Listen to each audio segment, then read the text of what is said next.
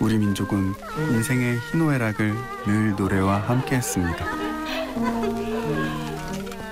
아이들은 그 놀이의 중심에 늘 동요와 함께 자랐습니다.